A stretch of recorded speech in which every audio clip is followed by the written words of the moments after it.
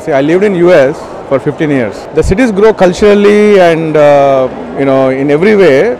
If the city has a lot of things to do, if there is a city which has like a football team, you know, a basketball team or a baseball team, those cities are the cities where the uh, youth want to stay in those cities. They want to go to those cities. They want to live in those cities.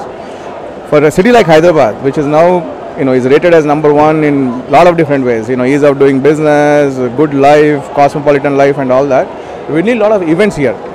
And 10k run is one such event where you know all people of all walks of life, irrespective of poor, rich, caste, creed, they all assemble here. They run together.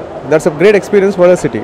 So I would say these are events like this add life to the city. And, and that is the main reason. Like you know, we want to make this city, this run, one of the big runs in the country, and not in, not just in the country, in the world.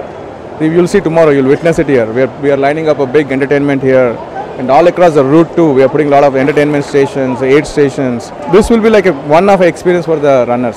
And and if you if a lot of people ask why is why people do runs, basically runs is what brings the city together, and and as, as I say that you know that adds life to the city.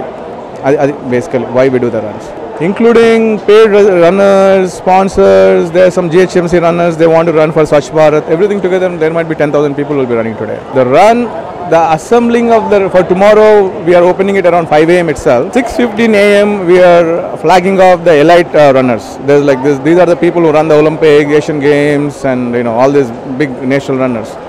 And then at 6.20 there are only 100 150 of them the elite runners. They usually finish 10k in less than 30 minutes.